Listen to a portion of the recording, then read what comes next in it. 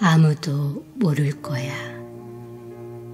시 염경이 낭송 채명자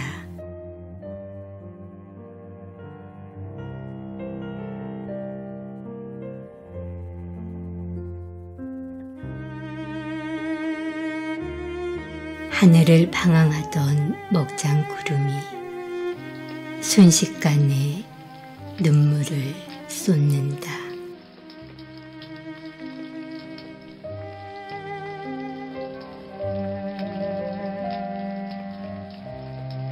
애써 추스리고 있던 호수마저 그렁그렁 오늘만큼은 호수도 어쩔 수 없이 수문을 열어야 맑게 갤것 같다.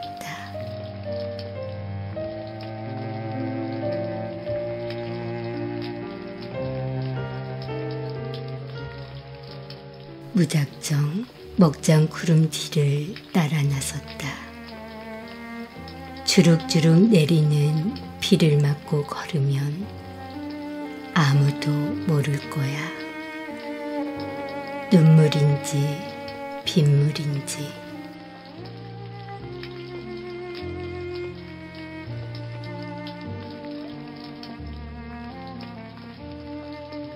때로는 아무에게도 눈물을 보이고 싶지 않은 날이 있는 법.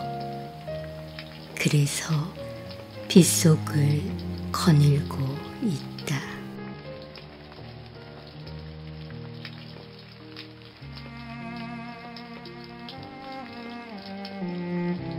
옥죄이고 답답했던 시간의 꿉꿉함을 말끔하게 씻어내고 방글거리기 위한 몸부림이란 걸 아무도 모르겠지.